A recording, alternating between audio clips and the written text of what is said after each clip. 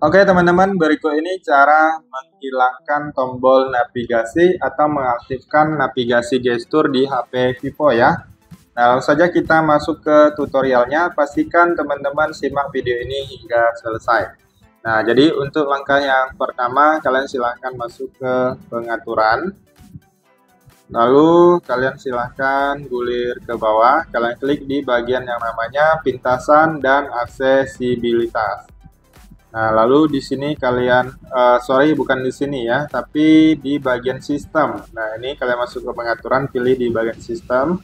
Lalu selanjutnya pilih di bagian navigasi sistem. Nah, ini ada dua pilihan, navigasi tiga tombol dan navigasi gestur. Jadi untuk menghilangkan tombol navigasi ini, pilih navigasi gestur ya. Nah, jadi setelah kalian pilih navigasi gestur dan kalian bisa lihat di sini sudah tidak ada tombol navigasinya. Untuk cara penggunaannya cukup mudah, kalian tinggal usap dari kanan untuk tombol kembali, dari kiri juga sama. Kemudian dari bawah ke atas untuk ke home screen atau ke layar beranda ya. Nah, jika kalian usap dari bawah ke atas dengan cara ditekan atau ditahan akan menampilkan recent up. Nah, saya ulangi, untuk tombol kembali bisa dari kanan ataupun dari kiri. Kemudian untuk ke home screen bisa dari bawah ke atas dengan cepat.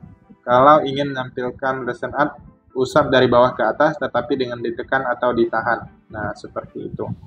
Oke, itu saja. Silahkan kalian coba. Semoga bermanfaat dan sampai jumpa di video berikutnya.